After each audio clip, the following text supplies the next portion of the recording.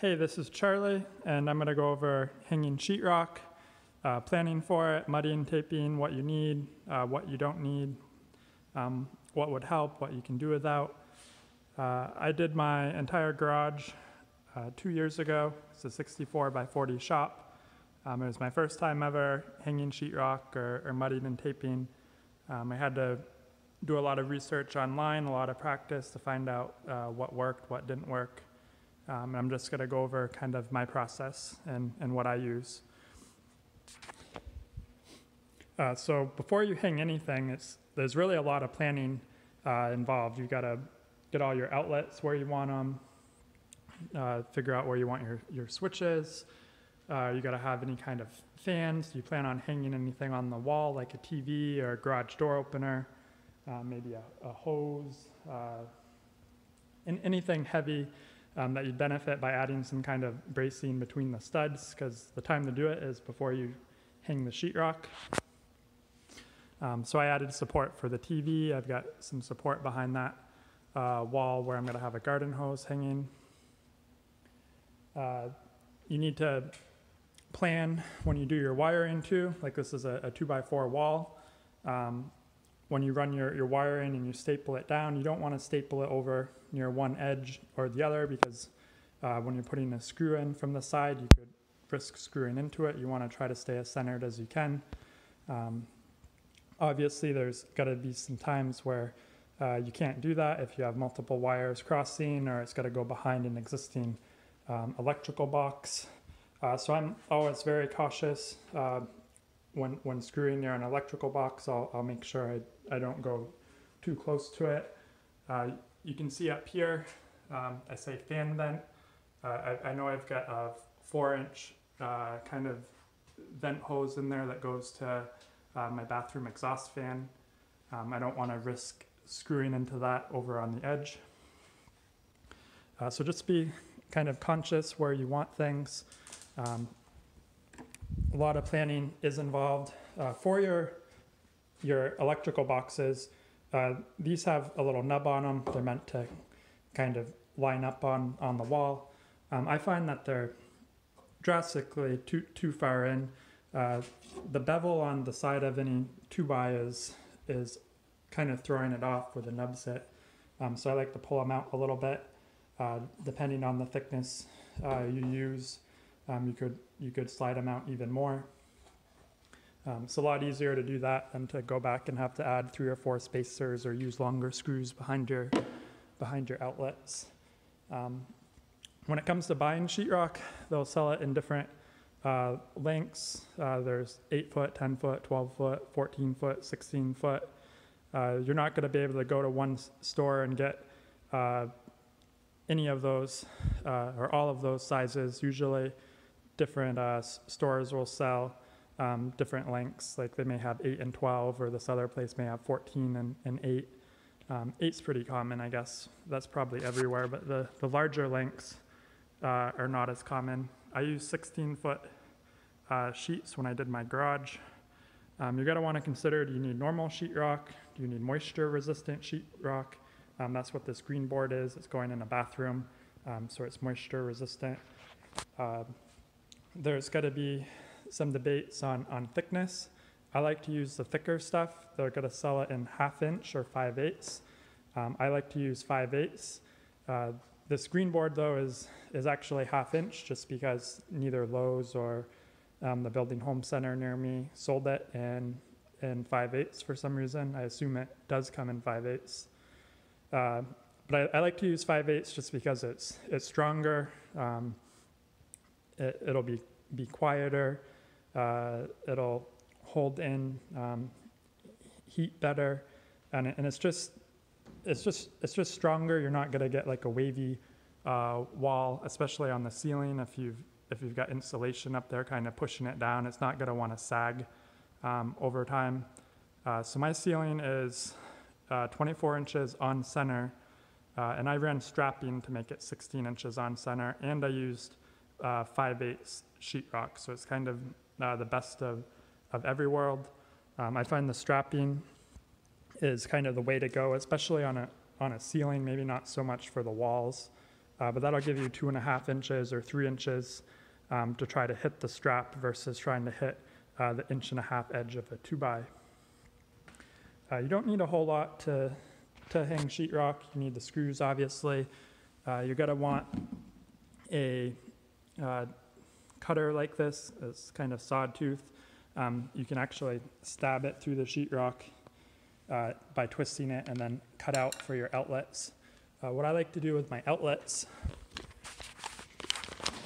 um, here they're actually in plywood, but it's kind of the same concept, is I'll measure over and I'll find the edge and I'll subtract a little bit to give me some space and then I'll measure down from the top. Uh, so I know my two measurements, I know how far over it is and how far down it is. And then when I go to transfer that on, on a sheet, um, I'll, I'll make my top mark, I'll make my side mark, I'll put an actual empty outlet box there, I'll slide it down and over just a little bit to add some spacing, and I'll mark the other edges. That way it's only two measurements uh, per outlet box versus trying to do four. Um, if you don't have an extra outlet box, they're only about a dollar or so, you might as well get one, but you could also kind of measure out your own, cut it on a piece of wood and, and transfer that everywhere. Uh,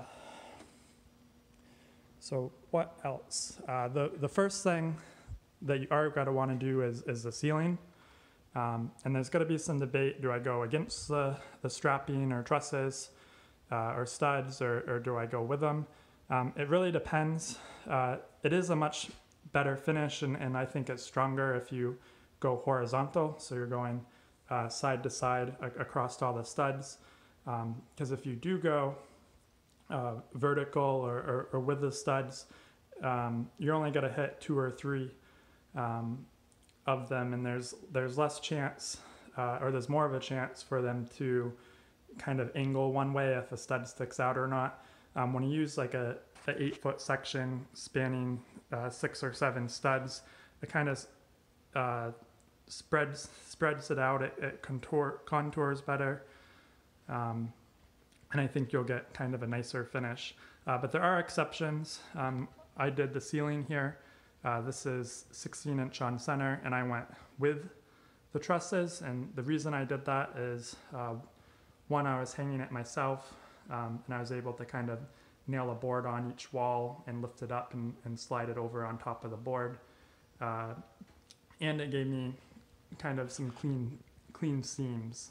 Um, so I'm only going to have uh, four seams on the top and I didn't have to try to uh, have a seam split that uh, exhaust fan or, or, try to cut around the wall too much.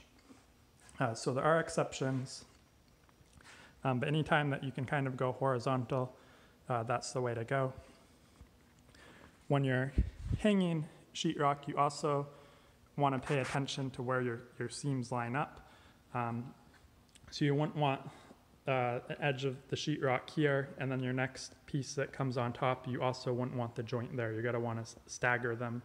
Um, that way, uh, the wall's stronger, it's less likely to, to crack.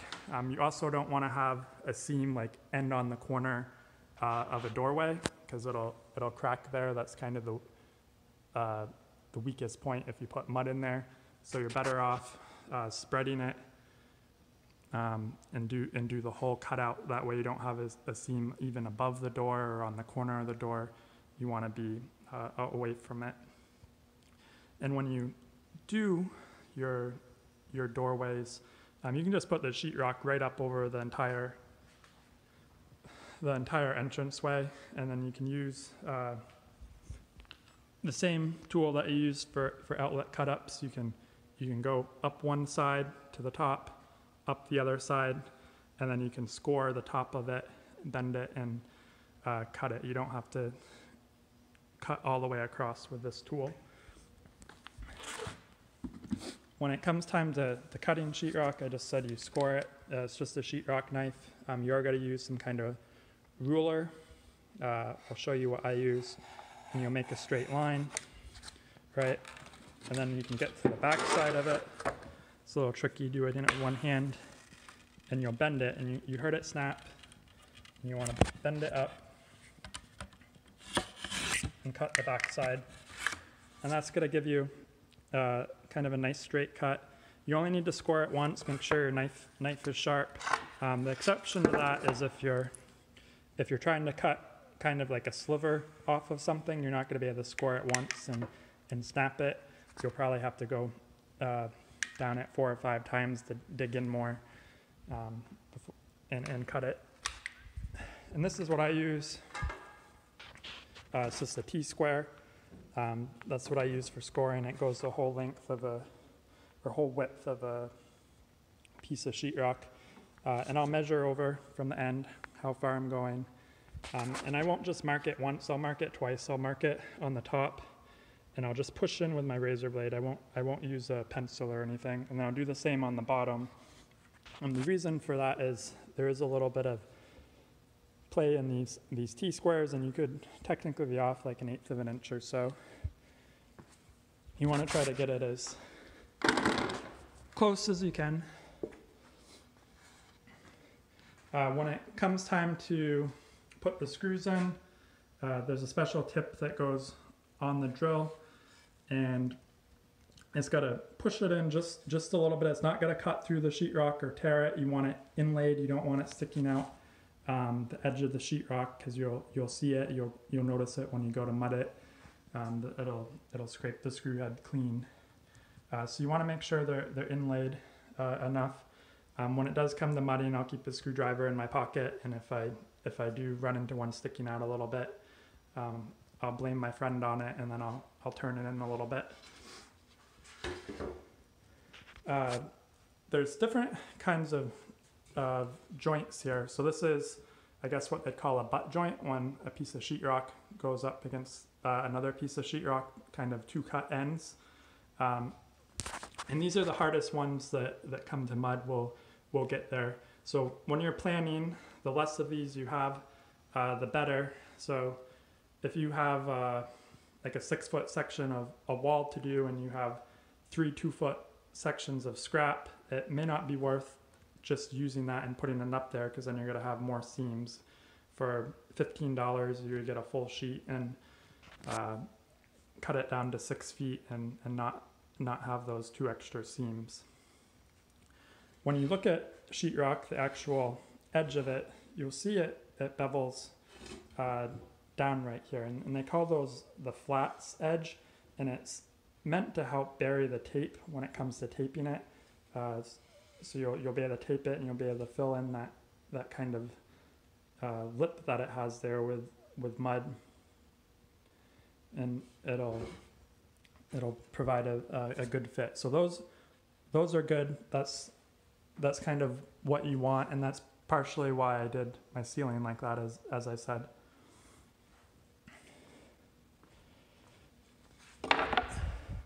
Uh, so the other thing that I'll do, uh, and it's it's kind of important. You want to get a, a clean install. Um, when you're measuring something to, to fit, I said you don't you don't want to have your your, your seams. Uh, let me see, if I find a good example. Like right right here is a, a seam of, of uh, sheetrock. You want you wouldn't want to have uh, another one right here. You'd, you'd want to stagger it over to at least the next stud or, or even further. Um, when it comes time to um, mating them and, and, doing the butt seam, you want to split. You want to split the stud. You want to get it in the center, and it's not always going to be this nice, right? So you've got a, a really um, a really big ceiling. Uh, I forgot what those trusses uh, span. I think it's 40, 40 feet, and that's that's a long ways. And I know I've got strapping uh, put up there, but it's it's possible those boards can be wavy. So if I'm putting another sheet on and the sheet's four feet wide, I'm going to measure uh, the length I need to right here to the center of this one, and then kind of a little ways down. I won't measure exactly four feet, but I'll, I'll ballpark it with my tape measure and I'll measure to where it'd be the center. And, and sometimes there can be a pretty good size difference. Uh, you, you, could have like 60 and a half and 60 and three quarters or a quarter inch difference. Um, and what I'll do is I'll, I'll split the difference in the measurement when I can. Uh, if it's way off, uh, one thing you can do is you can kind of add a helper board. So you could take a, a two by four and screw it to the side of the, the stud. Uh, that way, when it goes down, um, you've got some meat for your, your sheetrock to dig into. You don't want to have any sheetrock free floating. You wouldn't want to have uh, this be a seam, for instance, because there's there's nothing over on, on the end. It'll crack if you if you try to do it. Uh, same goes for the, corners. You don't want to have any um, really free free floating. There's a stud right here, so this little bit of an inch isn't going to make um, a big difference. But if it was more than that, uh, I would I would have screwed uh, another helper board beside it. Um, probably an even better example uh, is up here on the ceiling. So there's there's not a uh, board going across where these screw holes are. Meaning there's not there's not like a truss. Um, I screwed a two by four to the top of the wall and had it hang over the edge. That way it gave me a lip to, to screw to. So there's there's some planning. You want to make sure that all your corners um, for your ceiling, for your walls, uh, are gonna have uh, a flange for you to screw the sheetrock to before you start hanging. You don't want anything free floating because uh, because it'll crack. Um, I'm gonna go over muddied and taping uh, tomorrow. I do have some mud started, and if you have uh, kind of like a big a big hole, this was actually my dad's fault. This board. Uh, I mean, you'll blame it on me because it was cut a little bit too long. Uh, I wanted to rub this wall, as you can see, and, and, we should have taken it down and, and sanded it a little bit uh, so that it'd go in there. And he thought by tapping it, it would it would do it. And he tapped it, and it broke that corner off. Um, so it wasn't a huge uh, piece that broke off. I know I'm gonna have tape and mud going over it, but for kind of bigger holes like that, they make something called hot mud. Uh, and it dries really fast and you just mix it up with a little bit of water. Um, and it's kind of meant for that where you want some extra some extra strength. You've got kind of a bigger imperfection to to fill. Uh, so I had to use it there. And I had a pretty big uh, kind of seam up there so I, I did it there as well. Um, uh, another tip uh, kind of two more things I think I want to cover um, is when you're screwing the, the butt joints, right? I don't like to do those when I hang a sheet right away, or I may put two screws in it. I'll get all the other screws in in the center of the board, um, and then I'll get the next piece of sheetrock on, right? And I'll screw the center of there, and then I'll come back and do the seams kind of last. That way they're they're pressed tight together, uh, or as, as tight as you can make it. Um, but it'll it'll help with ballooning, and you can see right here uh, in, inside, you can see where the inside of the sheetrock's kind of crumbled out. It's pushed out because of this screw, and I had to keep it close to the edge so I'd hit this uh, wall stud because it's a little wavy. And by having the other board up there and pressed against it, it kind of helps that from, from ballooning out. Uh, so that's one tip. Uh, the other thing is mark your ceilings. Um, so you can see up here I've got some pencil marks above where all the studs are. So after you get the ceiling on, uh, go around the edges and anywhere there's a, a wall stud, just add a line. Um, that way when you put the first board up, you'll be able to see, you'll be able to see here uh, where it is. You can put a screw here, but then you can look up and you'll know exactly where to screw or exactly where to put um, your level to mark a straight line where you need to screw. So that's that'll save you some time. If, if you don't, you can play the tape measure game or you can uh, go drill crazy and hope you hit a stud. Uh, and I think that's about it as far as hanging. Um, I used a DeWalt drill. They do make uh, a special drill for doing sheetrock. My friend let me borrow one, but I had a cord on it, and that was kind of more of a pain. Uh, they have these special tips right? So it'll go on the screw head, and it's meant it's meant to, to go in and not blow through the, the sheetrock and kind of stop stop it from going in too far. Uh, I wouldn't just buy one of these. I think they sell them in four packs at Lowe's. I would get a few because you do end up wearing out the tips if you have a big area. Um, the screws I use are number six, inch and five eighths. Uh, I think this whole box was like twenty dollars, so it's not it's not real expensive. You're gonna want a belt. Um, just makes life a lot easier. I'd, I'd fill up both sides uh, with screws because you do go through through them quite fast. Uh, and I'll go over all the other tools when I when I get to the mudding.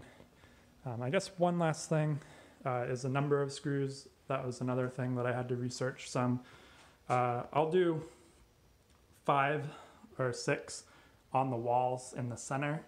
Um, you can really get away. Some people get away with four. Uh, I'll, I'll do five on the walls, sometimes six if, if I feel like it. On the ceiling, I definitely do six.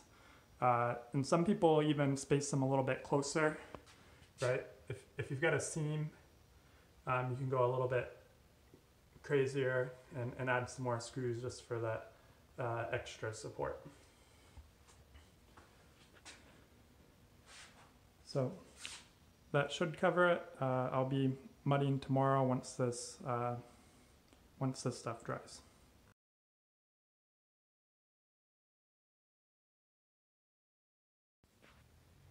So it's day two of my sheetrock project. Um, I'm finishing off the bathroom of my garage.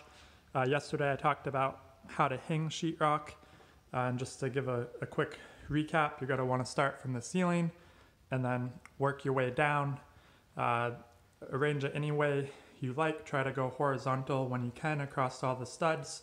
Try to do whatever you can do to minimize the number of uh, butt joints. And definitely offset your pieces. You don't want to have uh, one seam falling on top of the, the other. So now I'm going to talk about tools and what you need to, to tape in mud. Um, it's, it's really a, a three-step process. Some people will do it uh, in two steps, a, a, day of taping, a day of mudding. Um, I find it works better to do uh, three, a day of taping, a day of mudding. The third day, do kind of a rough sand and a, and a final mud because there's always going to be a few spots that uh, you're going to need to apply a little bit more. Um, and then I guess it's really a four day and then a fourth day of uh, kind of sanding uh, very well. Uh, it takes about 24 hours for this mud to dry. It's some all-purpose, uh, it's what everyone seems to use. You can get it at Lowe's, Home Depot. Um, this is that hot mud that I used the other day. Um, it, it, dries in 90 minutes. This stuff is good if, if you have like a big spot that you need to be structurally uh, sound or you, you, need it to dry fast so you can start start taping. Um, you're not going to need a lot of it, but the bags are, are pretty cheap. I think it was about $10. This is 14 or $15. Uh, for, for the tape, they call it taping, but it's really like a paper. Um, just get a big roll. It's, it's not very expensive at all. This is a holder if you want to hold it on your belt to, to pull it off as you go. Um, I, I bought one and and I did use it. It kind of has its its flaws. It, it, it can be in the way. The, the tape can get tangled up. You can fling mud on the tape because it's out and exposed on your hip. Um, if you're doing a, a smaller job, you, you, probably don't need that. For uh, actual mixing tray, this is a plastic one. They sell it Lowe's. I bought the plastic thinking it's it's lighter. It's not gonna rust. Um, it does have some metal strips on the edges that you can you can take out, uh, and it's it's obviously not 304 stainless. It's some kind of either mild steel or maybe 430, um, but it it does rust. I'd probably try the all metal tray if if I had to do it again, but but this does work. Uh, there's an assortment of trowels, and I really didn't know what to expect, so I bought every single one. Uh, if I had to do it all over again, uh, I would probably buy these three right here. We got, uh, I think this is an inch and a half, a four inch, and a 10 inch, and they all serve kind of a different purpose. Uh, let me show you why uh, I'll, I tape with this this one right here because this is some sheetrock and I mentioned that they've got this indentation in the center on the edge. Uh, they're not going to have it around all four edges of the sheetrock. The, the butt edge doesn't have that, it's just the sides. Um, and they call this the, the flat section, and you can see it indents. Um, you can see, follow my finger. Uh, if you take too big of a uh, scraper on there, right? You can see that it's- hollow underneath there, and that's going to cause the the tape to float. You're not going to be able to to scrape down and push that tape all the way on the on the seam. It's going to float.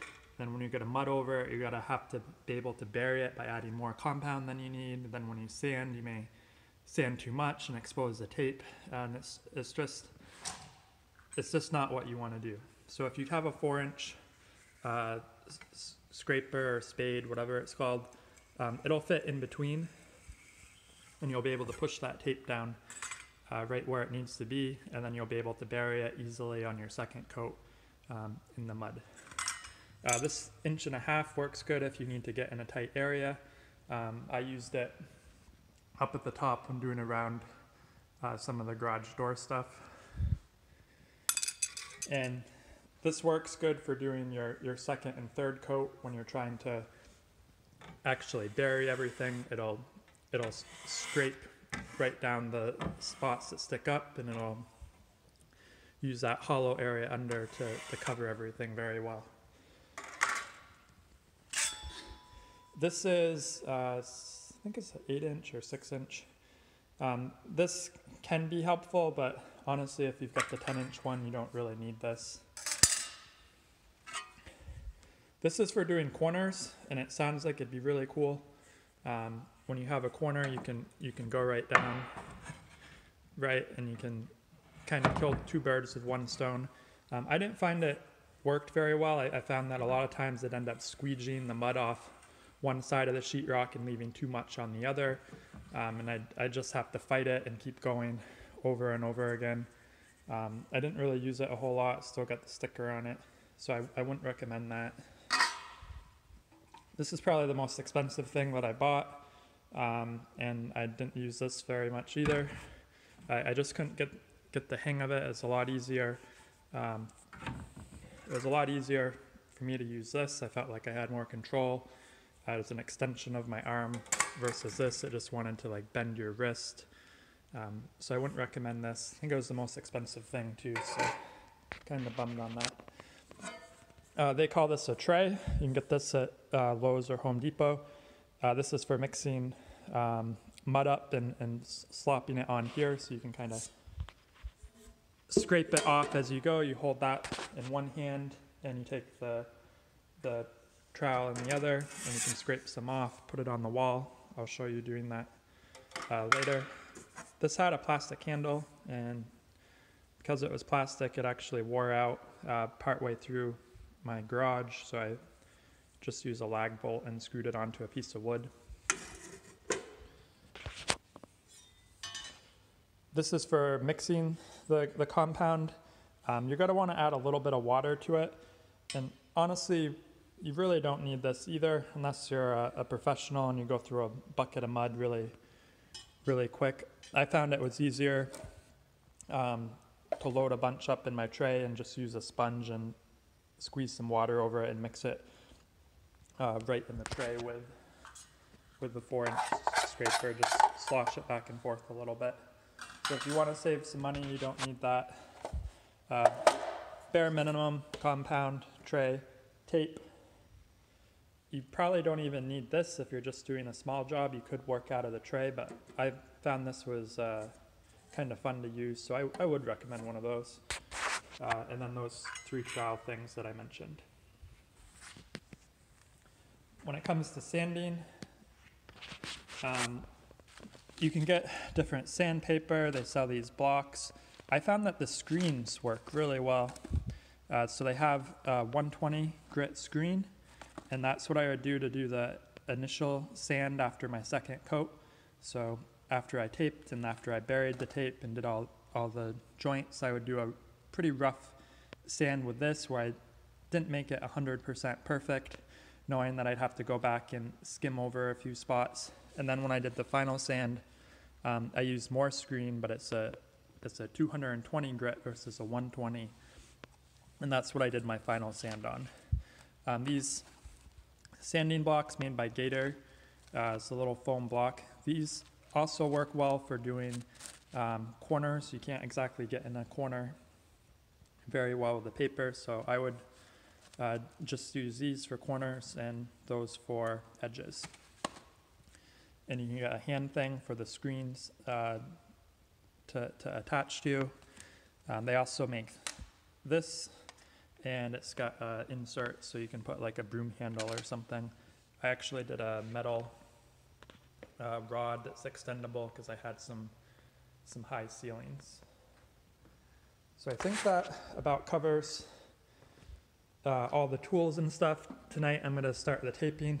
Um, one thing I'll do before I even start the tape is I'll go around to all of the butt joints and you can see the paper edges. They can get a little dinged up or kind of want to start peeling away. Um, and that's gonna push your tape out. And when you you sand through it, it's want to sand through that spot. So I like to take a sheetrock knife and come in here and just kind of angle it in a little bit to, to get rid of that edge that sticks out. That way the mud has somewhere to go.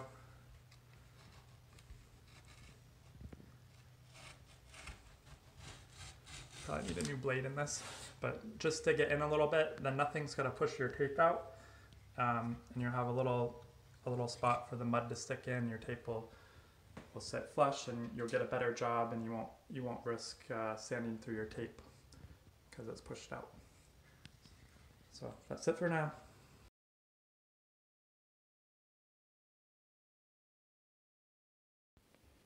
All right, it's time to start taping. I already got some mud mixed up, uh, add a little bit of water to it. I mixed it uh, right in the tray. You could use one of those beaters if, if you wanted. Um, if you have a, a lot to do, I'd, I'd probably recommend it, but if you're doing a, a small job like a bathroom, it, it only takes like a minute to, to water it down a little bit. And this is about the consistency. It's, it's not gonna fall off, but I could, I could shake it off. Um, I like to have it a little bit uh, runnier when I do the tape. That way it's, it's not as thick and I like it a little bit thicker uh, when I'm not doing uh, the tape because it, it tends to fill in uh, better. So let me show you, I keep saying tape. Uh, this, this is the paper, right? Buy a big roll of it. And there's an actual little crease that started in the center of it. It's meant to, to fold for a corner one way, see? Wants to bend this way, it doesn't want to bend the other way. Um, if you're doing a corner, obviously bend it into the corner, but if you're doing a, a flat area, um, I put the nub to the back, that way the center kind of wants to, to push in. Um, if you did it the other way, you'd have this nub that's kind of fighting away from the, the, the mud and you could have a little air pocket in that channel and it won't be as good of a seal. The other thing, uh, you don't need to cut this, you can tear it. Um, there is a little trick. You can just take your uh, putty knife, put it on the paper, tear it. Kind of hard to do with one hand. You'll have a nice looking tear. So when it comes time to to do the tape, um, you can see I, I, dug that out a little bit more. I did need a new sheetrock blade. Um, where do you start? Uh, so what I like to do is do all the butt joints first. Um, now I don't have another piece of sheetrock here. You can pretend this was sheetrock. Uh, if it was sheetrock, this would be bad because I, I have a seam here and you wouldn't want that, but this is plywood, so I didn't really care. Um, if this was sheetrock, uh, I would do all of these butt joints first because when the paper comes down, the paper that would go on the seam would kind of seal that in. Uh, and then after you do the butt joints, you do what they call the flats. Uh, the flats are the, the kind of narrow part where the sheetrock is indented. and it's the same kind of deal. The paper that comes over from the flats will get covered up by the corners, and then I do the corners last, and I like to do the wall corners first. So you'll have the wall corners that kind of go up, right, all the way to the ceiling, and then when you do the final, your ceiling corners, those are going to overlap the wall corners to seal those in. They're going to overlap your butt joints to, to seal those in. Um, and they'll overlap any, any other ceiling uh, joints like those flats. So that's the order that I, that I go in. Um, so let's, let's apply some mud. Get my light set up a little bit. Hopefully I'm not creating too much of a shadow.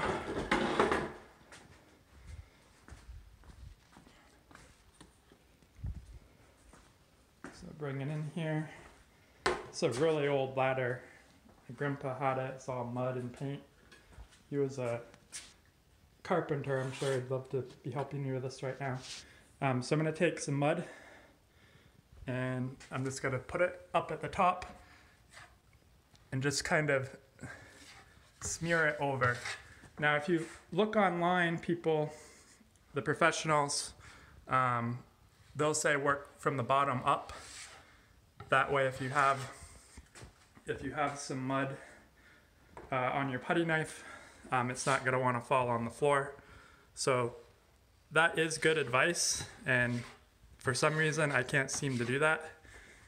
I have a much easier time working from the top down. Um, and you can turn the putty knife sideways and try to really smear the mud into that seam. Add a little bit more here. And looks like I need a little up here.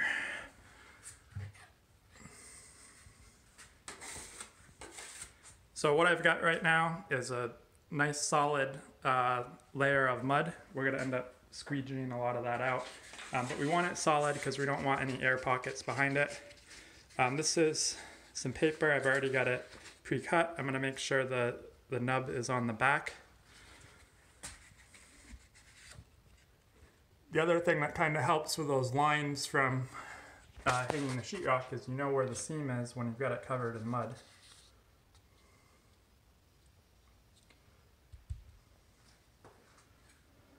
So it's up there. Um, I'm gonna lightly press it in and just work my way down just to, to help get it set. Not really squeegeeing a, a lot off it right now. I'm just uh, getting a little bit out, making sure that it's not gonna catch when I when I do squeegee it more. I'm gonna work from the from the sides a little to get some that's smearing out.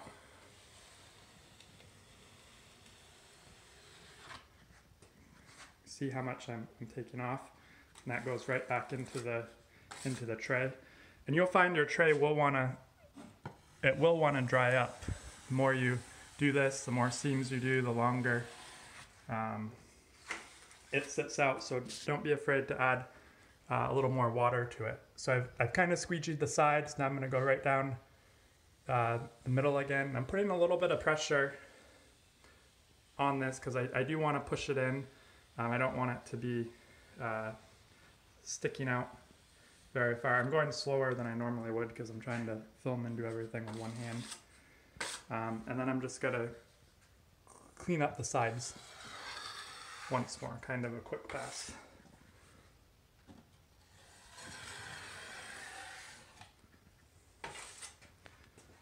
Uh, so that's tape applied to to one of the seams.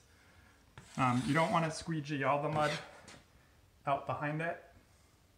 Uh, it may look a little, when it, when it starts to dry, the, the water's moisture content is soaking in with the paper, so it may look a little bit uh, bumpy, but it, will dry and we're gonna we're gonna bury that on our next coat.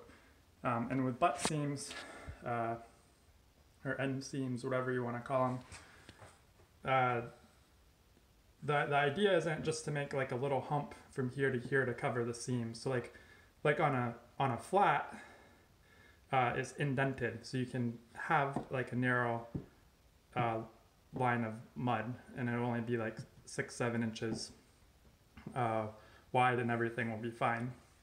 On a seam like this, because it's not indented, this paper is on the most outer surface.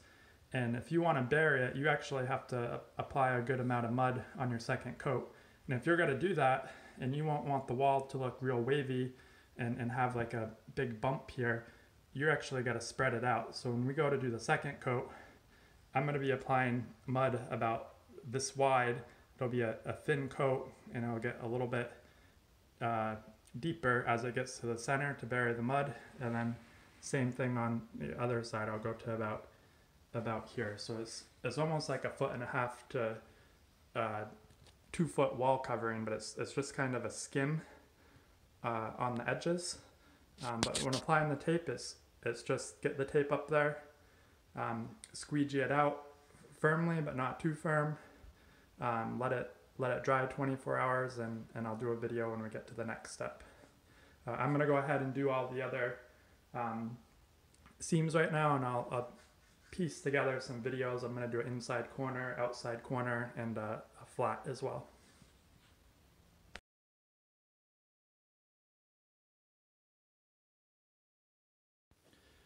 Uh, so we're going to do a seam on the ceiling in a second. I just wanted to show you this. Um, this is the other butt seam that I that I did where the ends come together. Um, and in the center here, there's plenty of mud behind it and it squeegeed out fine, but it, it did want to start bulging out a little bit in the center because um, there's a fairly decent gap between uh, these two sheets of sheetrock. So what you can do when that starts happening is simply put your finger on it and, and push it in a little bit. Uh, you'd rather have it concave than convex because if it's sticking out, it's only going to cause um, problems. Uh, for the screw heads, uh, you want them to be inserted uh, just a little bit and all you got to do is, is put some mud uh, on it and just go over it. You gotta go over it twice. You wanna hit them at every coat. Sometimes you really gotta smush it in there. Um, it's a Phillips head, so if you do it, sometimes you'll, you'll go over it and you'll see it doesn't go all the way into the into the the plus sign area. Um, this one's actually sticking out a little bit. You can see that when I went over it, it, it it clean, so I'm to have to hit that with a, a screwdriver.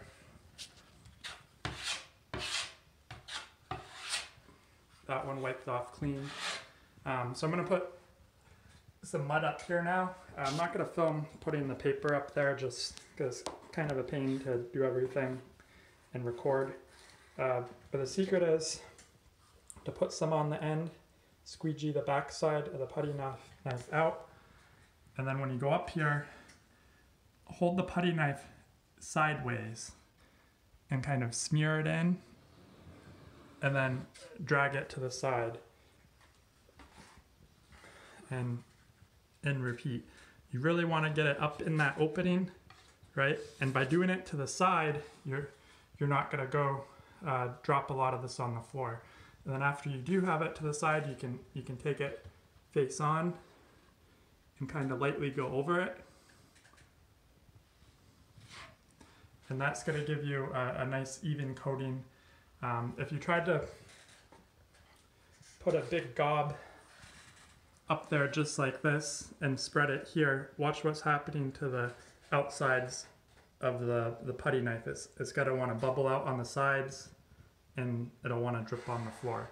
So put it up at an angle like this, really smush it up in there between the seam, wipe it sideways as far as you can go, and repeat. And then after you've done uh, a little ways, just start back from the beginning um, and lightly, lightly do a coat, and you'll have a nice uh, even coat to start with. And then squeegeeing it off is, is exactly the same um, as that other joint. Here's one that uh, I've already done. You, you can kind of see, you don't, you don't want to see the, the paper peeling away from the edges at all. You, you want it up there, you want to go all the way to the edge. Uh, that way the corner seam that we do later is, is gonna cover it.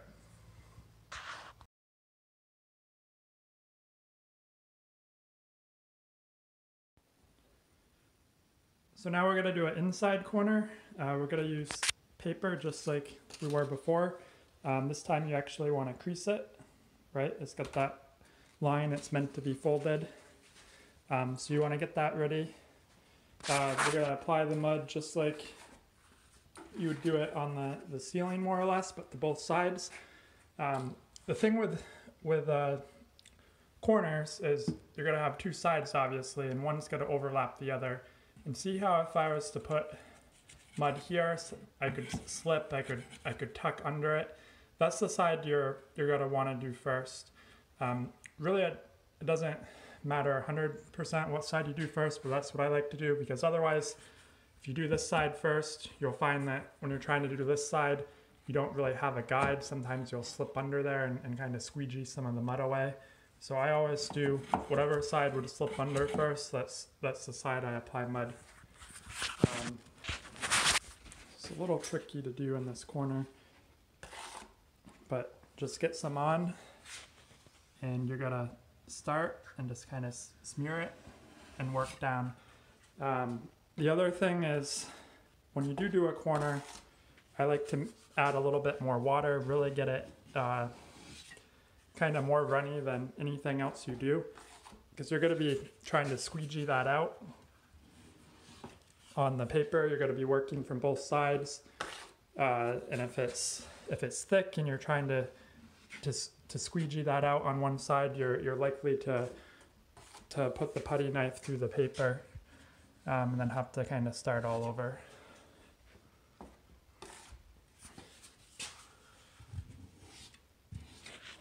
Just gotta set my phone down while I do that.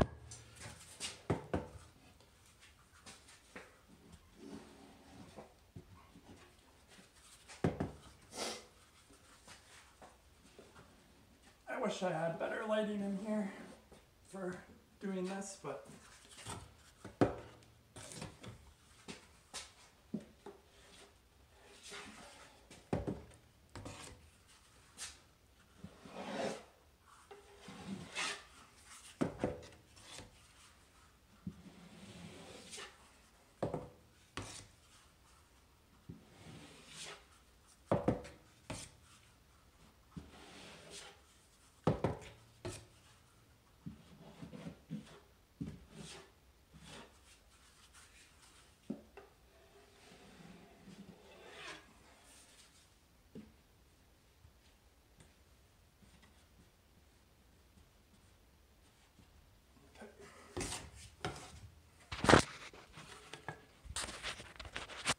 So I've got some mud applied. That's actually quite a bit. It's it's kind of like a, a Cool Whip consistency, I would say.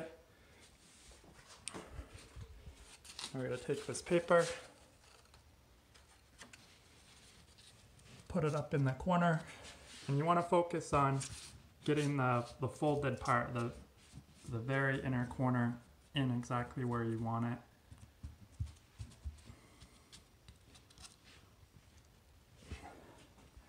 Um, I like using the one and a half inch knife for corners just because it's it's more square on the side, whereas this is, is real angled. So you put this you put this up here and and you're not really touching that. You just you just get a better angle with this small thing. And the other thing that you'll want to do, I probably should have said this when I was explaining the tools, is when you buy a putty knife, these corners are going to be really sharp.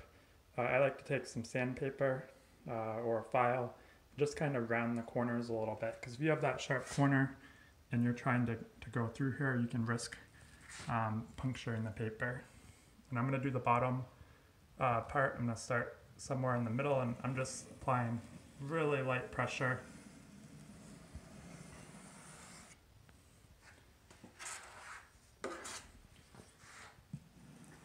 I'm going to clean up the, the edges more. And you do kind of bias the pressure. It's hard to show in, in the camera. Um, I'm not putting pressure straight on. I'm kind of uh, putting pressure towards the right side of here. I'm, I'm sort of twisting it in my hand just a little bit. Uh, I want to ride that that seam on the edge if, if you go straight on, you're likely to snag snag something, and uh, the last thing you want to do here is is tear the paper. And because it's extra liquidy, uh, it just glides right out of there. So the lower half's done. I'm going to do the same to the top, but afterwards I'll, I will take my large putty knife and I'm just focusing on cleaning up the edge. I'm not really focused on getting in the corner there. I've already got in the corner with, with a smaller putty knife.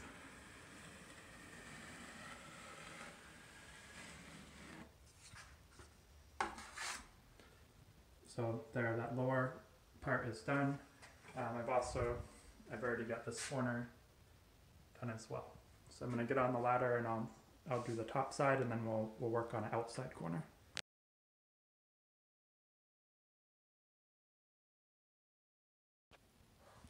All right, the last kind of seam that we really have to deal with is uh, outside corner. Um, what you want to do is you want to make sure that uh, it's nice and flush around every edge. If it sticks out a little bit um, farther than the face of this surface, you can take some sandpaper um, and sand it down. You want it to be as nice of an angle as you can get it. Uh, we don't use paper on the outside corners what we use is uh, this metal guard. Come out here in the light. Uh, you get this at Lowe's or Home Depot. Um, there's different kinds that they sell, uh, but I like the kind that's got the paper outside uh, with the metal inside. Um, and you can cut it with some uh, shears there. And what it's gonna do, it's gotta go right up over here and, and press in. Uh, and on these, you want to get quite a bit of mud under them. You don't want to get like a skim coating. You really want to fill it in so that the entire back of this metal surface uh, is going to have compound. So I'm going to do that right now. Start from the top and really, really lay on the mud here.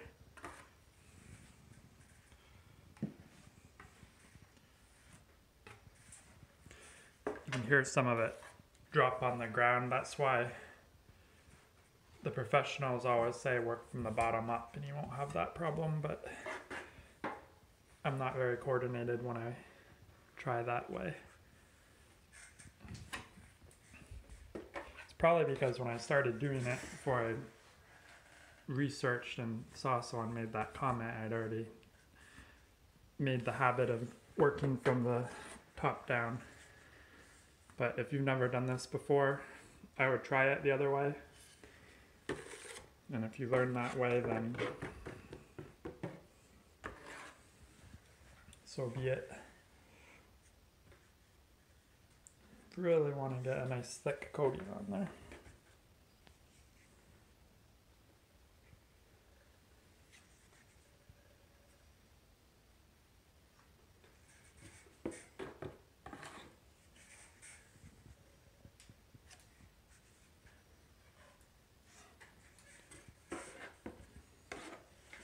More.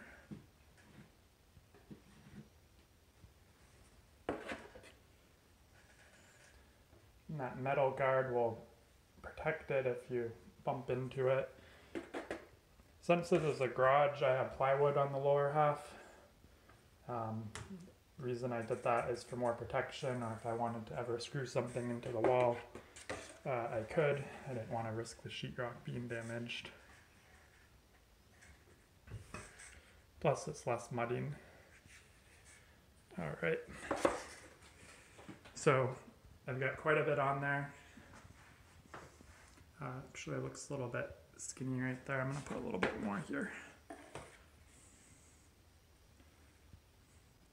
Really try to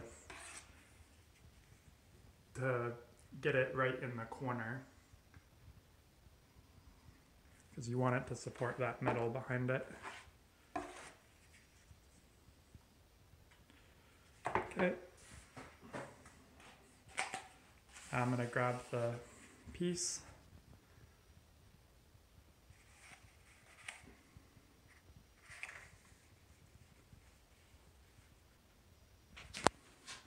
And shove it on and you can push it right into the corner. It's gotta line itself up.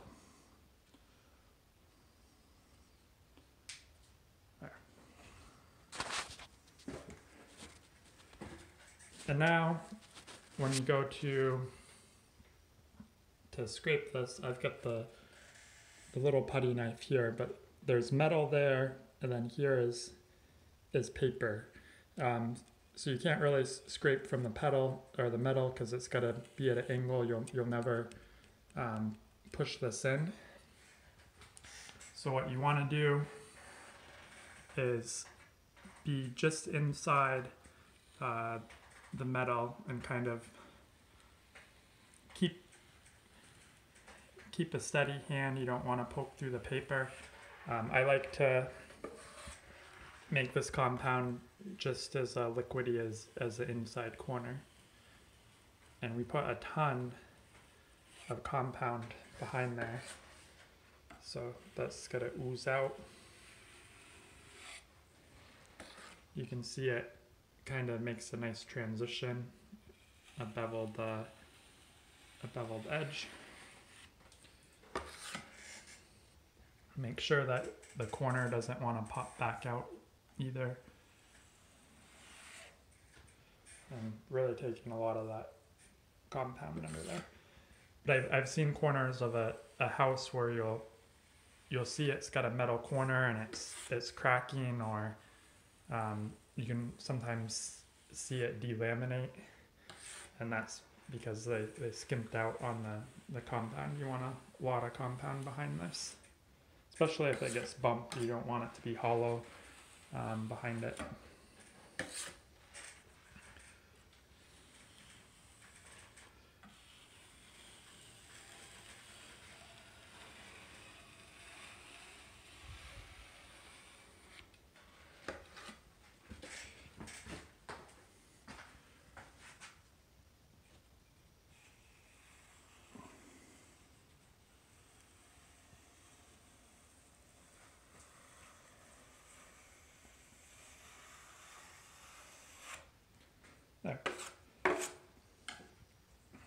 So the corners are done. Those are the only outside corners that I have.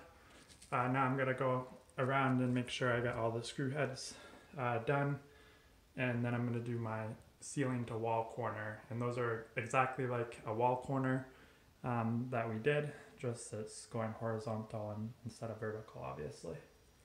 Uh, that's it. I'll be back uh, tomorrow when we do the second coat.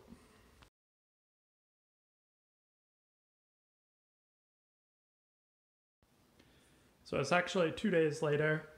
Um, I came out here last night hoping to do it, but some of the mud was still a little bit wet, so I I wanted to give it uh, another night of drying. Um, I've already done a little bit on the second coat, just so I'm familiar with it. It's been about two years, I guess, since I've done any sheetrocking. Um, but I'm gonna go over the butt joint right now.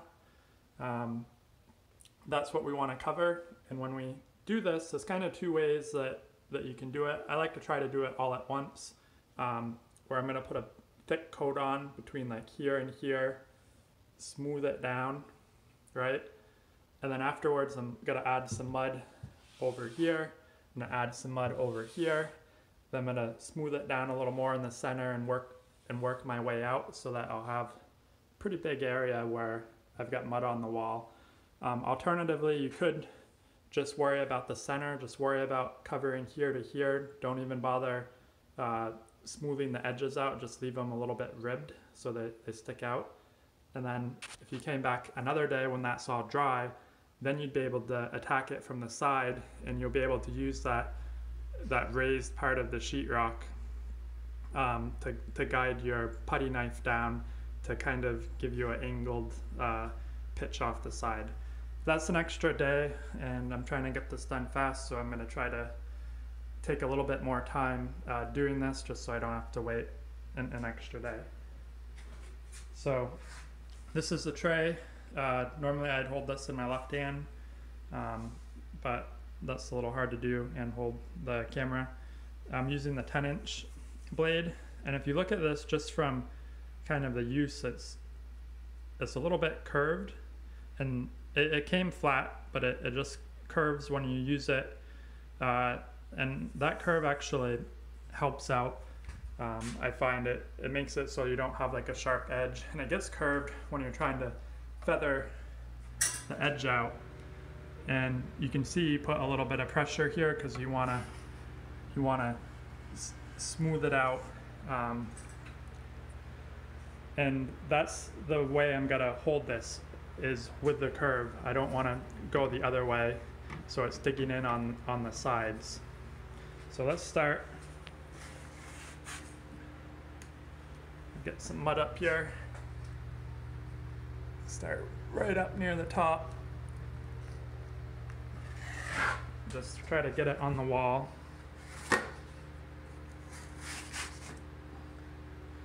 and this isn't really watered down. I added a little bit in the top of the bucket and kind of flung it around with a putty knife but it's it's not as uh, near as watered down as when I was doing the taping.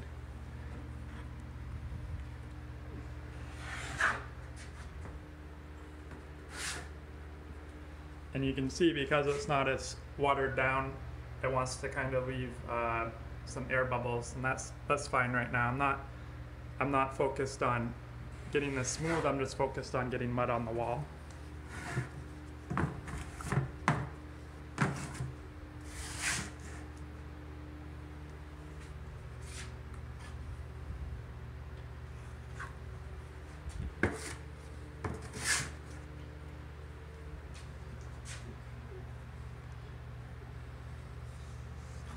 Need a little bit more on the bottom.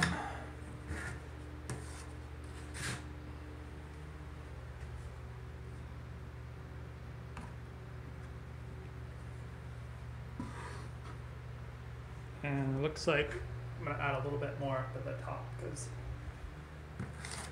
needs a little more.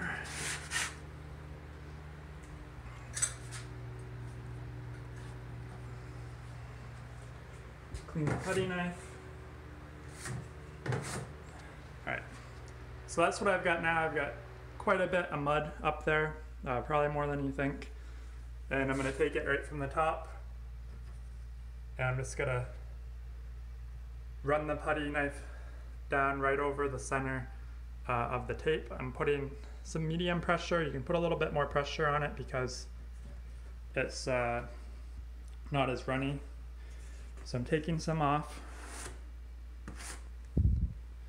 And I'm gonna do that again just, just lightly this time to try to get some of the bubbles out.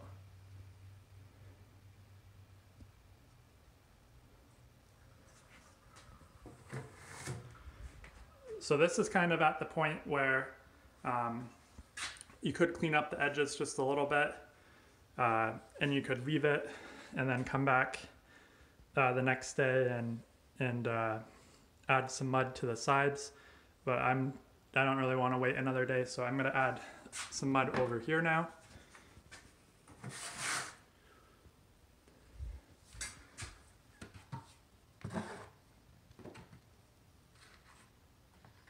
really trying to focus to make sure that I've got it up at the top.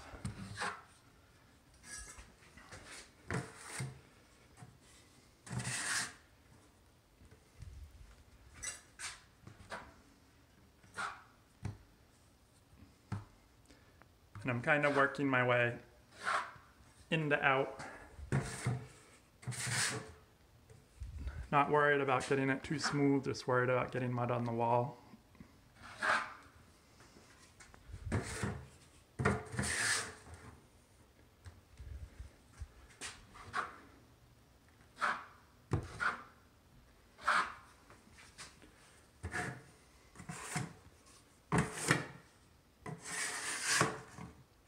And if I, uh, my pad thing, because the handle broke, it did have a flush bolt that went through it, and I had to put a lag bolt, so it kind of sticks up there. Um, so that makes it a little challenging.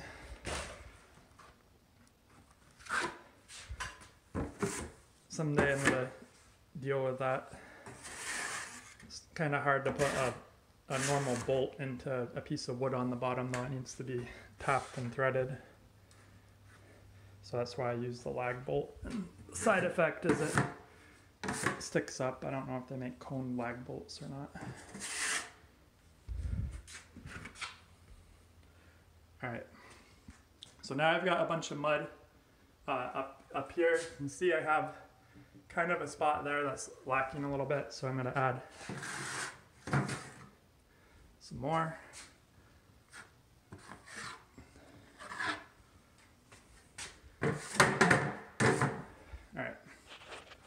So right there, the center is kind of smooth.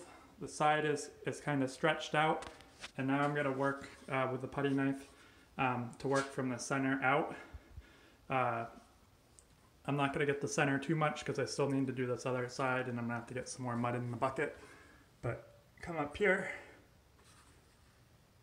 and I am putting a little bit of twist on the putty knife. I'm kind of twisting towards the outside.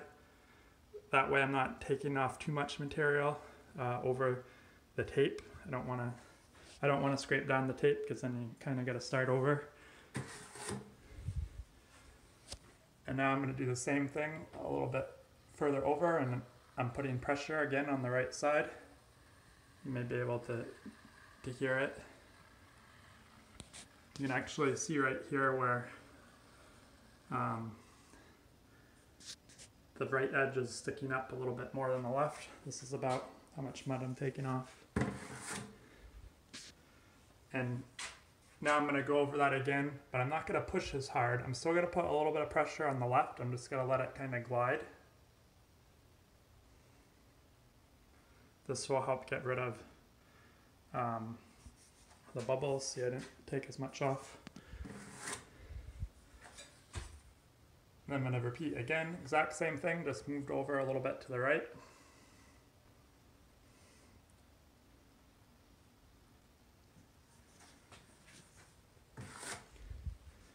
And then I'm going to do it again. This time I'm, I'm off the, the side of where the mud is. I'm on the, the green board.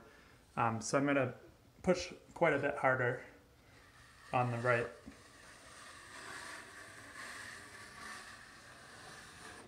And I do that because I want to give it a transition point that, that doesn't have um, that doesn't have a lot of height where the, the sheetrock starts. Uh, if I did leave a little bit of height there, I'd, I'd have to sand it down. And anytime that you try to sand that down, you're also going to hit the green board. And if you spend a lot of time uh, sanding that, you may sand through the paper, and, and I don't want to do that. Um, here, here in the center, you can see it's, it's spread out to here. At the top, it's spread out to there, but in the center, um, it's in a little bit, right? Zoom out, you'll, you'll kind of see how, how it goes further on the bottom and the top, but the, the center it doesn't. Um, so I want to try to keep that line uh, roughly around the same place. So I'm going to add a little bit of mud right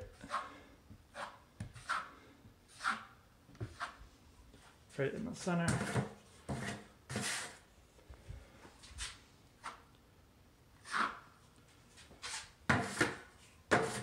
Then I'm going to repeat that last pass where I'm kind of pushing hard. Over it one light.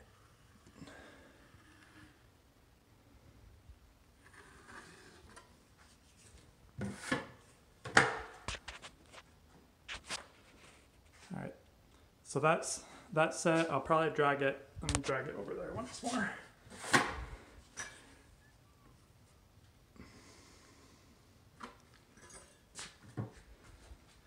Sometimes when you try to smooth it on that last pass, you make it look worse than it did before. Um, but that that's it. The tape is buried. I'm gonna do the right or the left side uh, off camera, and I'll clean up the center a little bit because I'm gonna have to go over it lightly when I do the left side. But the, the idea is you wanna bury the tape, you don't wanna, you don't wanna see through the tape. Um, and you wanna transition it out a ways so that if you are looking down this wall, you're not gonna see like a, a sudden hump. You want like a nice gradual uh, slope. Now, if you can see this, me turn the light. This is another one uh, that I did above the door jamb. This one's already started drying. See, I did a little bit better job making the line a lot nicer here. Um, and it's just going to be that gradual transition. And this stuff does sand a little bit, so where you see uh, kind of the differences in the mud, that'll that'll sand off in about five seconds with that with that uh, screen paper. All right, so that's how you, you go over the end joints.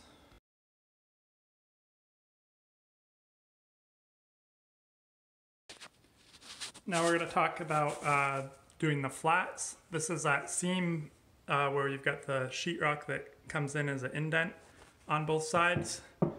Um, you can hold your your spade up and see that there's uh, kind of a, a, gap between it. That's what we want. If you used a really wide scraper to try to embed the tape, um, it wouldn't be embedded enough and it'd be tricky to cover this uh, in mud.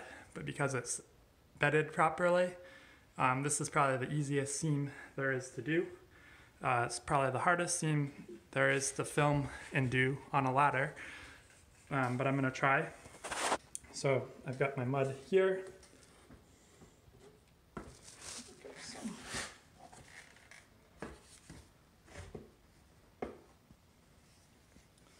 And you just want to get the mud up there, right? Just spread some, get a little bit more up.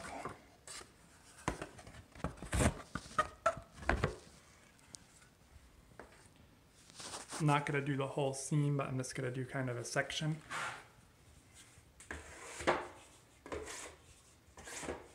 And then it's pretty much as easy as just dragging the scraper, making sure that each side um, stays above uh, above the indentation and you're burying the tape. And then what you can do for the side is again, put pressure on the opposite edge of the knife that the mud is on, so the right side of the knife. So I'm putting all my pressure and I'm just kind of cleaning up that edge, and that's, that's to make sanding easier. I'm gonna come to the other side, exact same thing. Pressure's on the left side of the knife on this side. There. So repeat that process for the full seam. Um, make sure that the, the tape is buried. If you do have a spot where the tape sticks up a little bit, maybe you didn't bed it properly, um, you would bury it similar to like a wall, but don't don't make it as wide. Um, when you clean up the edges, you can kind of uh, put a little bit more mud in the center, and when you clean up the edges, uh, try try to just make sure there's a, a, skimming left over the tape. But if you embedded it properly, you shouldn't have that problem. Um, I've already done a seam over here. show you. So this one I did earlier,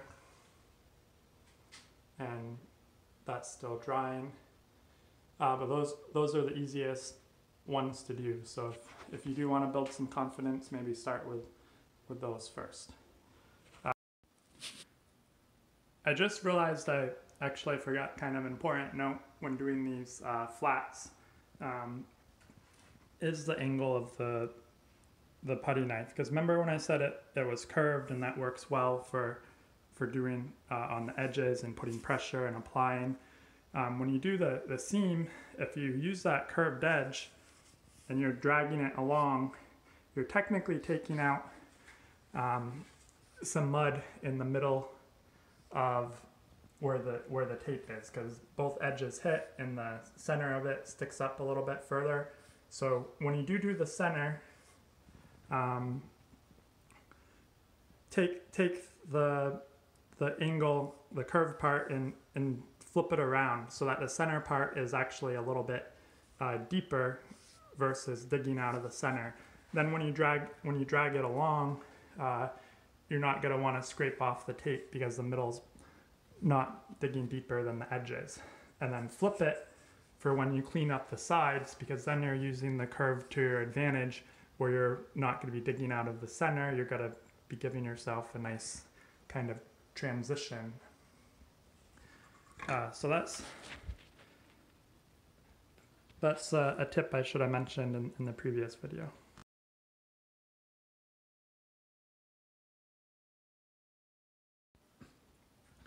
All right, now I'm gonna go over an inside corner. Uh, I'm gonna be using the same 10 inch uh, putty knife, scraper, whatever you wanna call it. And the thing with inside corners uh, is easier if you tackle an inside corner, that includes a wall inside corner or ceiling inside corner, in two days. Um, if you got a big area to do, um, that's that's what I would recommend doing. Uh, if you're got a small area and you kind of just want to get it done, you can spend a little bit more time on the corners. It's a little frustrating, um, but you can do both sides of the seam. So what we're gonna do is we're gonna spread uh, we're gonna spread mud on one side of the corner, right? And we're gonna scrape it. And when you scrape it, it's gonna be fairly easy because this wall is gonna act as a, a guide for the putty knife. You can put pressure on the right corner of the scraper and you can get a nice skim coat over this corner. Uh, but then if you came in and you said, okay, I've got that side of the corner done, now I wanna do this side, you're gonna scrape that skim coating off that you just put on that side of the, the wall. Um, and that, that can be frustrating if you try to do both at once. Uh, they have the special corner um, putty knife and sometimes that works well on parts of the wall and then you'll get to a section and uh, it's, it's leaving too much on one side or it's completely scraping the other side clean. Uh, and that and that's frustrating too. So if, if you have the time, you don't want to rush, you don't want to get frustrated, uh, it's a big job, just do one side uh, at a time, let it dry, come back the next day and, and do the other. And that's what I've done here, just to kind of show. Um, I've got one side done, once that's dry, I'll come and do the left side of the wall. Uh, over here, I keep turning the light because it's dark in here. over here I've done I've done both sides. And you start by doing one side just like you would if, if you planned on doing one side. Um, and then you do the other side and you, when you come down you try to keep it close but don't touch it. Uh, normally you do end up bumping it though. And then I find if you kind of put just a line of uh, mud on the very very fine edge and you kind of dip it here and pull back dip it, pull back, dip it, pull back. Um, you can you can get it to where it's it's done. It won't look as clean as if you did it in two days, but you're gonna sand the mud off anyways. So once it's done and painted, no one's gonna be able to tell. Um, so let's go back, and I'm gonna do this this corner. Make sure I get some light in here.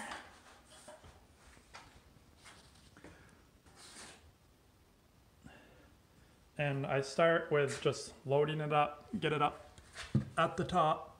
Make sure you get it up in the corner. And because this is thicker, it's a little tricky to, to drag down the wall. But that's what you want to try to do.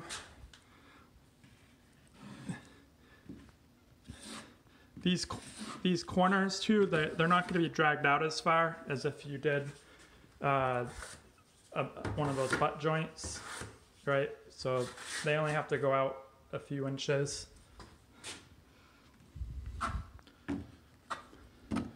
So I get it loaded up. You can steal some just by scraping it down the edge if you need. Reapply it here. You just want to have a kind of thick coating there. And I think that's good.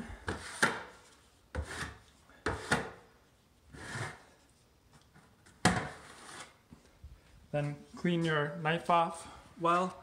Go all the way up to the top.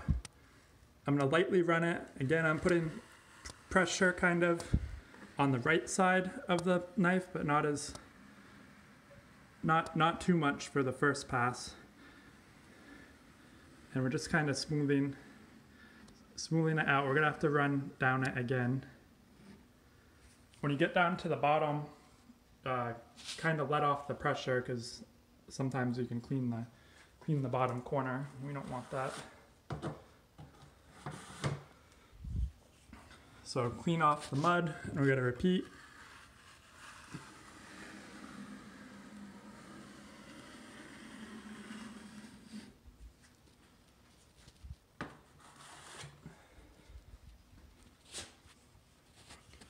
And then one more time, but this time I'm gonna put a lot more pressure on the right right side of the knife. Oops.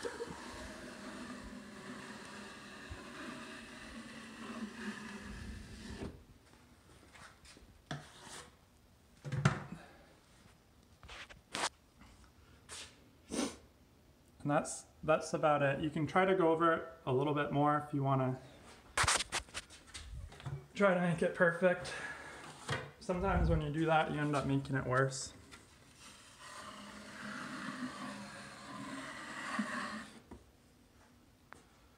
But there, that's that's a corner for you. Let that dry and then do the other side the next day. Um, or you can try to, you can try to tackle it the same day if you want. Worst case, try it. You can you can always try stuff with mud. If if you're not happy with the way it looks, you can scrape it all off and then uh, start over, and then do it in the two day approach. Um, but that's that's what you got to do for every inside corner. Uh, while we're here, I guess I'll I'll do the outside corner as well. Um, so here, uh, I had two outside corners, and I'm filling in the center with mud because the corners stick out a little bit. So normally you'd transition them, but because I have two corners here for the shower uh, stub out, um, I, don't, I didn't want each of them coming to a point in the center, and it worked pretty well because you can use each each as a guide. Um, I'm gonna have to hit that probably again once it once it dries, but it's kind of the exact same approach. Get some mud up there. So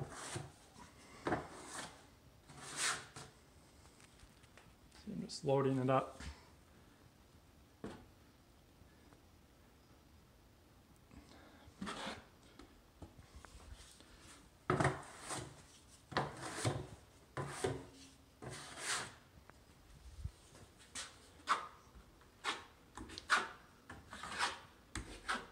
Just want to kind of get it on the wall.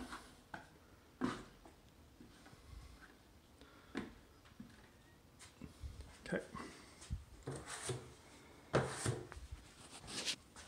Then for this, uh, you're going to use that that corner as, as kind of a, a guide. And you're kind of making a very slim um, triangle almost.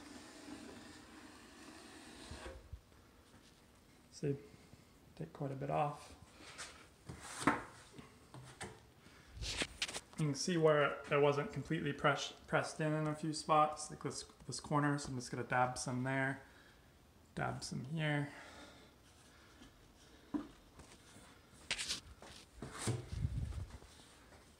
Then repeat.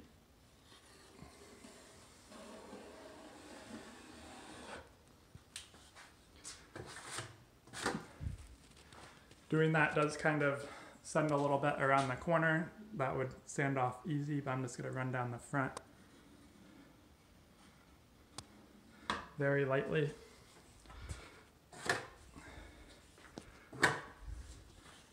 And then again from this side, very lightly.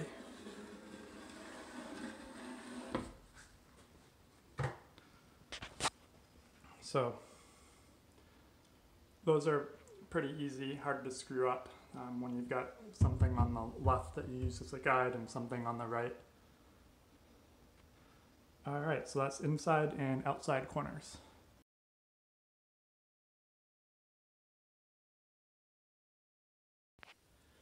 All right, it's sanding time.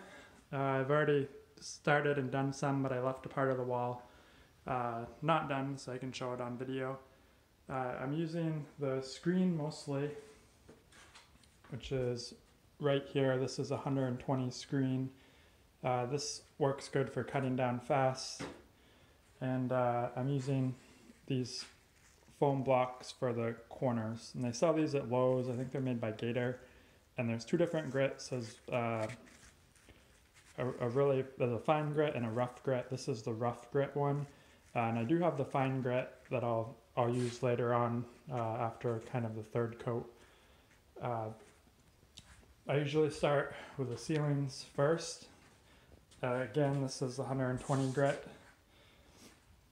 And when you do the ceiling, uh, extend the pole longer. You don't you don't want to be reaching uh, way above your head. You almost want your hands down near your near your hip when you do it. Uh, the more you have your your hands in the air, the more tired they're gonna be, and you don't need to to push or, or dig in. Um, let the let the sander do the work, right? And by having it long, you can kind of stand in one spot and just kind of sway your hips and and not move your arms a whole lot. Uh, but I'll do I'll do the ceilings first. And you'll notice when you, you get near the edge, right? If you look at like a section of sheetrock that, that hasn't been sanded, it's it's kind of a smooth color, and, and where you do sand, it's, it kind of gets scratched up a little bit. And you, you want a, a smooth transition. You don't want to see um, any any edge. You don't want anything that you can uh, feel. And this is an actual butt joint uh, that was there, and you can see how, how wide it is. It's not just covering the seam, it's going out about 8 to 10 inches on, on each side of it. Uh, so I'm going to turn the light and show a section. Uh, these are actual screw holes, and all you do is put it up there, go one direction and the other and I'm not really putting a lot of force on this. I'm kind of just letting it do the work. And you, you do want to keep going and try to a- attack it from all angles. Uh, you can see that around all of this, it's, it's, it's been touched. You can kind of see the whiteness from where it's sanded. Uh, you, you don't want to constantly attack it from this angle because you're not going to necessarily get um, the smooth transition here or here. So the important thing is to do every direction. Uh, this is another one of those butt joints. You can see how wide it is. Um, I know the tape is is buried uh, in the center. So I'm going to start just going up and down there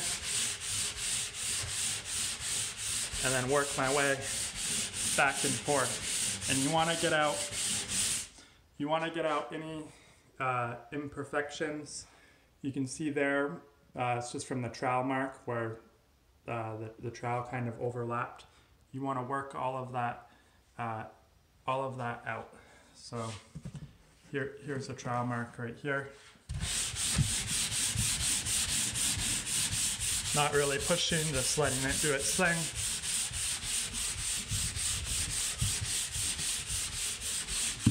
Also, it's important to wear a mask because you're gonna create a ton of dust. I know they're a little bit hard to find right now with COVID-19, uh, but you want to get get those lines out. And definitely, if, if you do go to the gym or something, don't do any arm workouts uh, before doing this. Not recommended. Um, and that's more or less it. The corners are a little trickier. Uh, that's where you use the foam block. And I did all of my corners in the same night, and that meant I had to kind of get more mud in there. um, that I wanted because I didn't want to risk squeegeing off the other side. So when you do that, one of the things that'll happen is all that mud in there, you'll get like a crack that appears on the outside. Uh, the tape is still good, there's still a layer of mud there. Um, it's just that there's so much mud here and I was trying to, to dry it, I didn't know what kind of wall to adhere to so it cracks in the center.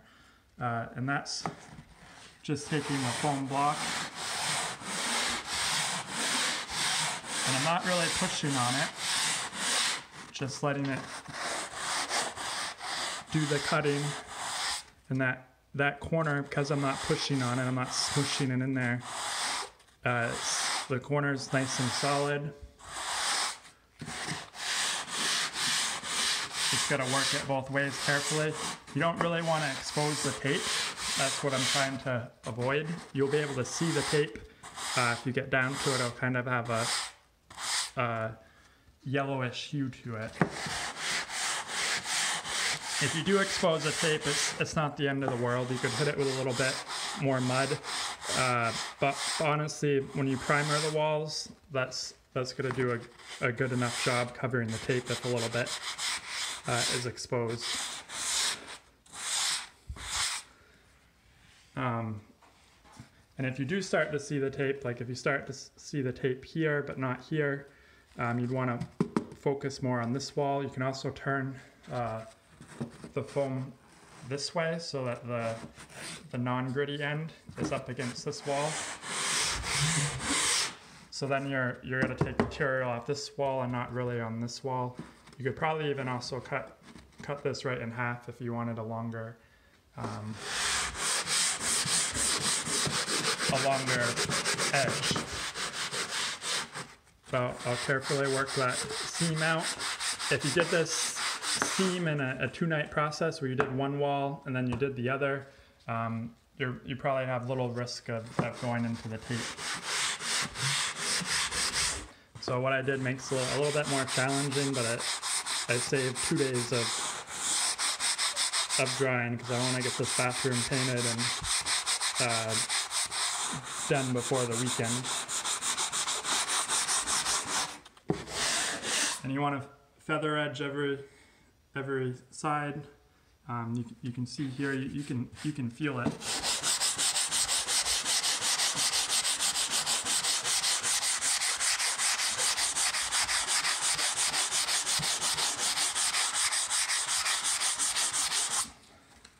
So there now you can't you can't feel it. You can see that all the the green board around it's been sanded.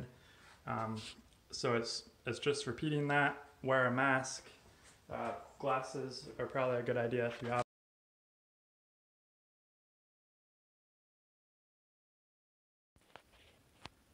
Alright, so I've got all the sanding dust uh, swept and vacuumed up uh, from last night's sanding. Um, it's got two coats that have been uh, sanded and at, at, this point probably 80% uh, of the work is is done. I am going to do a, a, third coat, but only in kind of spots where it's needed.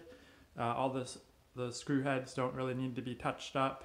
Um, there's a lot of uh, corners that are fine, uh, but you're going to see in some spots, like right here on the, the corner, there's, there's some imperfections, uh, just because you had to apply quite a bit of mud there. And uh, I, I didn't quite have everything covered. So I'm gonna hit, I'm gonna hit those spots uh, that need it. Um, here you can see there's some pinholes. And on this third coat, I've, I've added uh, quite a bit of water to it to kind of make it more like a, a skim coat. I'm gonna hit just certain areas of it. And I'm not gonna put a whole lot of mud on, just kind of uh, enough to just cover it. And I'm really gonna scrape it in. And, and you can actually uh, see those, those pinholes are, are covered up. You can still kind of see them because uh, they're filled with mud now and it's wet and it's, it's darker.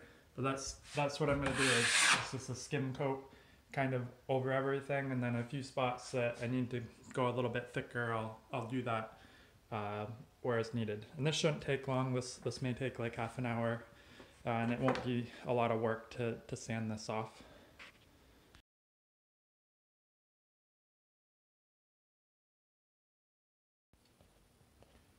All right, so the final coat of mud has been applied, and that last coat was just a, a real skim coat. It was kind of slap it on, uh, s- scrape it off, and it didn't really leave a lot, if any, on there. It just filled in any kind of imperfections that were uh, left. It only took about half an hour uh, to do.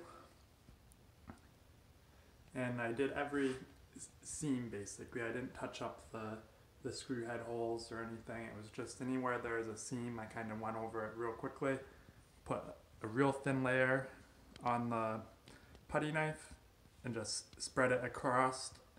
And then I cleaned up the material with a, a few more dry wipes over it, and any imperfection it, it filled in.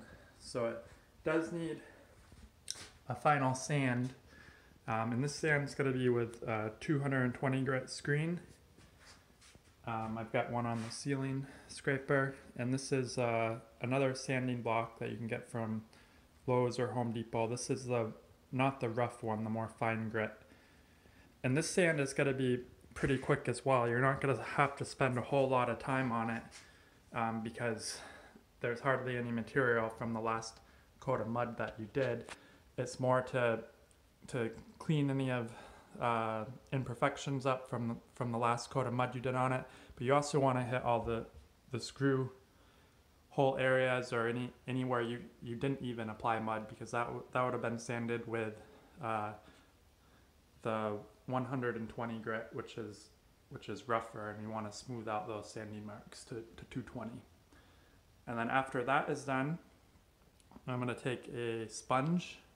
I'm to clean up the floor first. I'm to take a sponge, uh, put it in some water, rinse it real well so it's, it's just damp. And I'm to wipe down all the walls. You want to get all the dust off because you don't want it there when you primer. And when you're doing that, if you spot any imperfections, right? If you spot somewhere that needs to be sanded, you can you can touch you, you can sand it a little bit more. If you spot like a divot, something that should have some filler, um, you can circle it with a pencil and come back to it. You could use a little bit more mud.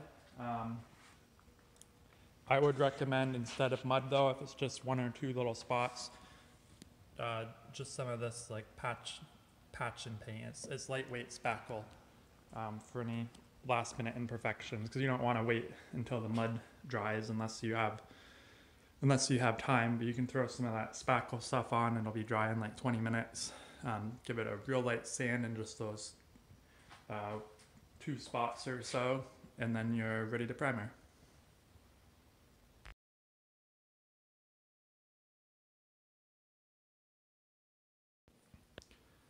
I wanted to do a quick video uh, after I've got it primered. Um, this is two coats of primer over the green board using Behr primer and sealer for drywall. I really like this stuff. Uh, when I did the rest of the garage, um, I only used one coat of primer sealer, and that's mostly because uh, the paint that I'm using also there is paint and primer all in one. This is just a standard uh, satin white color that they sell. Nothing has to be mixed. So the primer in here uh, plus the one coat of sealer works really well on uh, normal sheetrock. Um, I did two coats of the satin paint out there. But in here, because it's that green board, um, one coat of primer didn't really cover that well you can still kind of see some areas where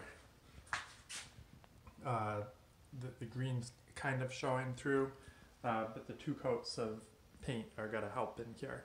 Uh, but because there was green um, and didn't cover uh, as well as normal white sheetrock, I did two coats of the primer sealer in here.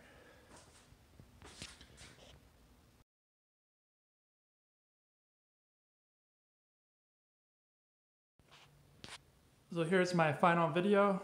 Everything uh, has been primered and I've done two coats of the the satin paint on it. Got all my outlets installed. Uh, I got my door mounted. I'm in the process of painting that still and then doing the trim around it. Ends up probably a little bit better lighting over here.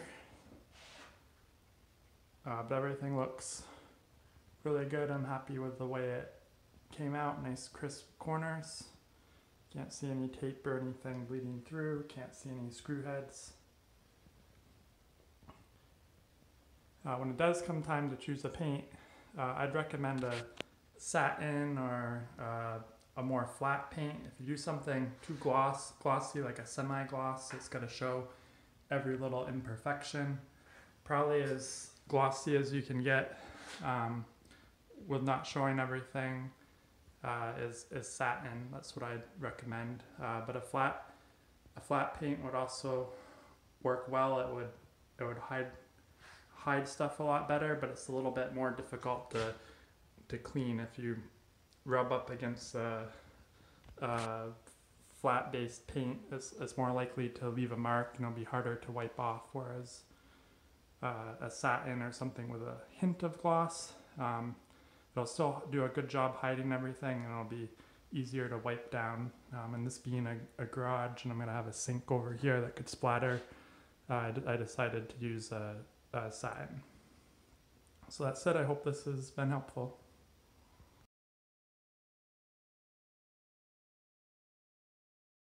Um, there's different approaches to do it. You can find what works best uh, for, for you. And applying tape and mud is is one of those things where if you're not sure you want to do it yourself, right? Um, you can go out and you can you can buy a bucket of mud for fifteen dollars, and you can spend twenty dollars on some basic tools and tape, uh, and try it. If if you're not happy with the results or it's too frustrating, um, you can you can hire someone to do it. They'll use your bucket of mud. It's not like you've really got a lot of money invested in it. They'll use your your tape that you bought, which is pretty cheap anyways. Um, and that's kind of how I got started. Um, I had actually hired someone to do it, and they ended up uh, backing out and, and not being able to do it. And then the next person uh, that I had originally contacted said he was pushed back three or four weeks. Um, that was kind of too long for me, so I said, "Oh, I'm going to try it myself and see if see if I can do it." And uh, it it worked out well. I saved quite a bit of money, probably around eight or ten thousand dollars doing it myself. Um, so that allowed me to kind of pay myself and buy something I wanted for for my time.